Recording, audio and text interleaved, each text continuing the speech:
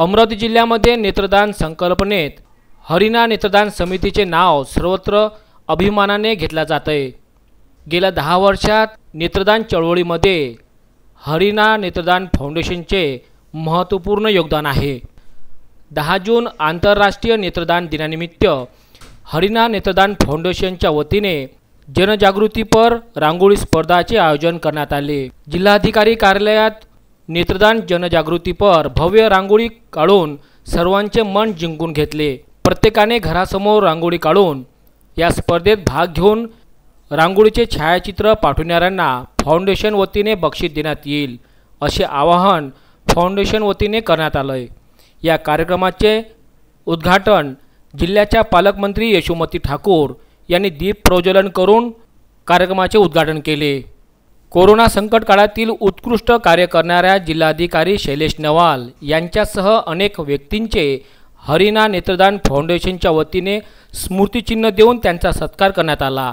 फाउंडेशनच्या मार्फत नेत्रदानाचा हा दिवस खूप मोठ्या प्रमाणामध्ये मनवला जातो. आज हा दहावं हे दहावं वर्ष आहे.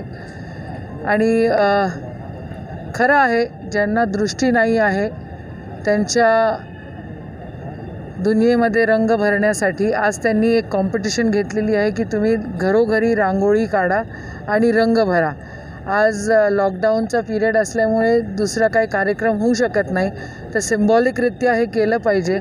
आणि नेत्रदान अवयवदान आणि देहदान ह्या फार मोठ्या फार मोठ्या बलिदानाच्या गोष्टी आहेत आणि त्या आपण आपल्या अंगीवळणी पाळल्या पाहिजे. आपल्या आयुष्यामध्ये आपण रंग भरतो ज्यांचे आयुष्य काळे आहेत त्यांच्या आयुष्यात देखील आपण रंग भरला पाहिजे. जय हिंद.